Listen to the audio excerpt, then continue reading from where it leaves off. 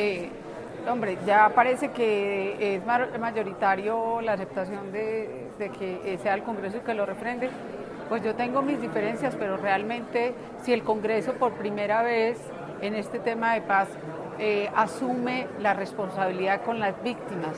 asume la responsabilidad con los colombianos y no solamente con el, gobierno y hace una mejora sustancial de los acuerdos a través de, eh, actos legislativos, por supuesto que, que, me parecería que estaría bien, pero,